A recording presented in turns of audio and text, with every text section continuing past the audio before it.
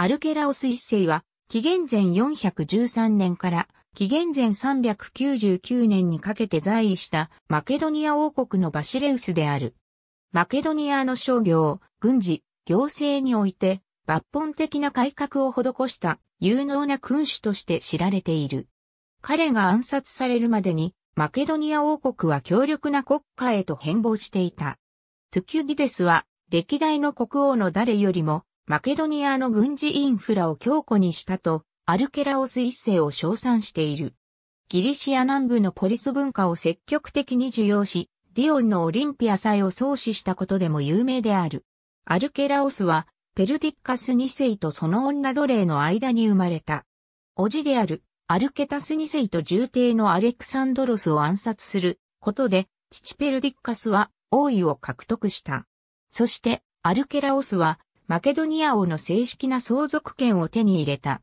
即位後すぐに、アルケラオスは、外交政策を大きく転換し、長らく敵対していたアテーナイに対して、友好的に接するようになった。当時、アテーナイは、ペロポネソス戦争におけるシチリア島への遠征の失敗で海軍が壊滅状態にあり、三段海戦を作るための木材の調達に苦慮していた。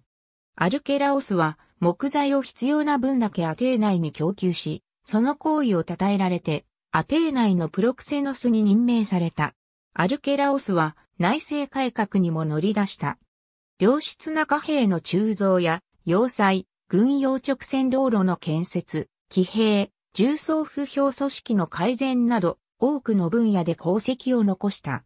紀元前399年、狩猟中にアルケラオスはクラテロスによって暗殺された。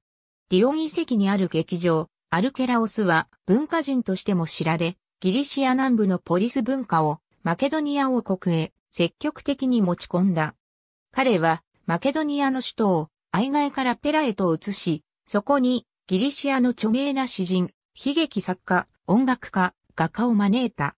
マケドニアのディオンにてゼウスとムーサイを称えるオリンピア祭を創始し、ギリシア中のアスリートや音楽家がその競技祭に参加するべく集まった。アルケラオスはまた古代オリンピックとピューティア大祭に参加し、戦車競技において優勝したとされている。しかし、優勝者リストに彼の名前がなく、これを疑問視する学者もいる。ありがとうございます。